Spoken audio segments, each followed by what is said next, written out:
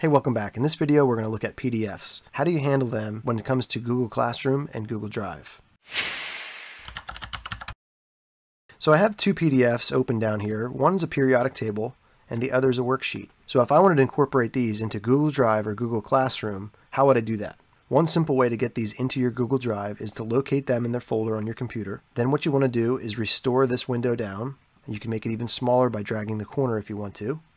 I can locate the files. I know this classes table is the periodic table and the other one is right here, elements, compounds, and mixtures. So they're right next to each other. It makes it easy. Okay, so there they are. Now in the background here, I'm going to get rid of this screen, reduce that, and now I have my drive in the background as you can see. I'm going to pick a folder I want these to go into.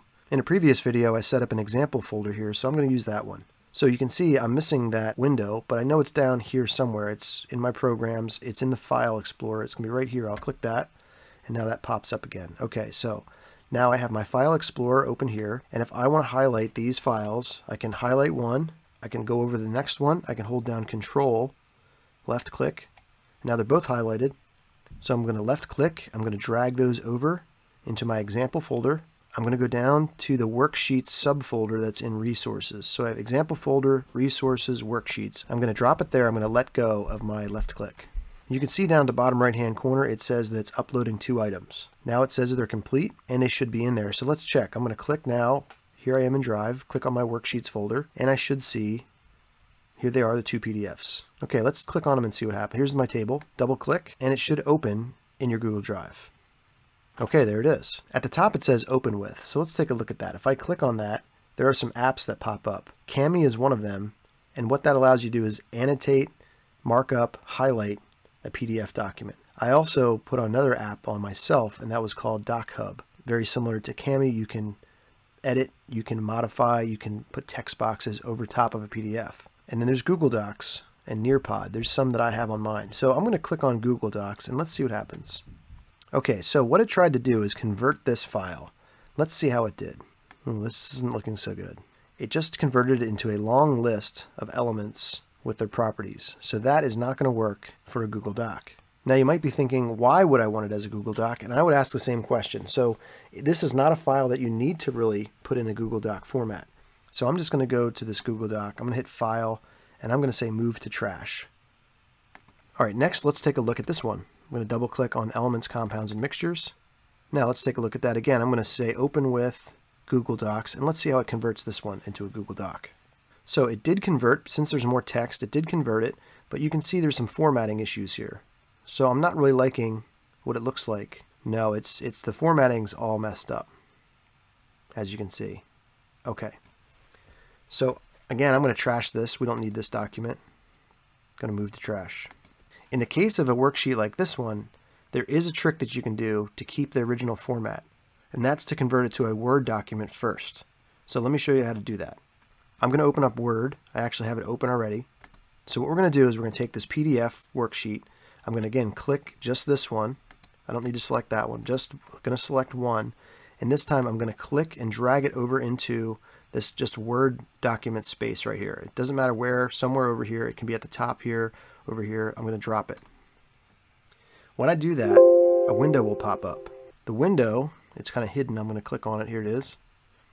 It says Word will now convert your PDF to an editable Word document. So I'm going to hit OK. And now here's my Word document. Take a look. It looks very similar to the actual worksheet. It didn't change the font. It didn't change the spacing. It looks pretty good to me. So I'm going to go up here and I'm going to see if there's a way, I, it says read only. I'm going to see if there's a way I can edit it. I'm going to click on view, edit, and then here we have our Word document. I'm going to check it. It looks great so far. And you can see here, this chart is the same as it was. It's intact, pretty close. I have my diagrams. That matching section looks great. The chart looks great. Okay, so this was a successful conversion from the PDF to a Word document. Now, where is this Word document? Well, I'm going to do File Save As. Make sure I know where it's saved to. I'm going to put it in my chemistry folder. That's where this other document was. Hit Save. Now I'm going to close that. And it's actually right here. Here it is. Elements, Compounds, and Mixtures. So I'm going to keep that open. Now we're going to do the same thing we did before. This time I'm going to drag and drop this Word document into Google Drive.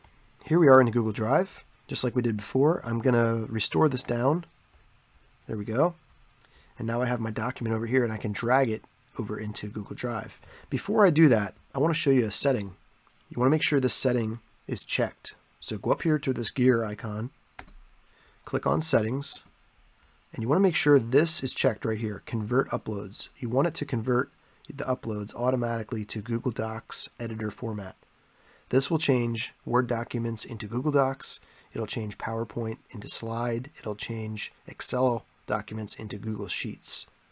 So once that's checked, I'm going to hit done. I'm going to go over here again. I'm going to hit restore down.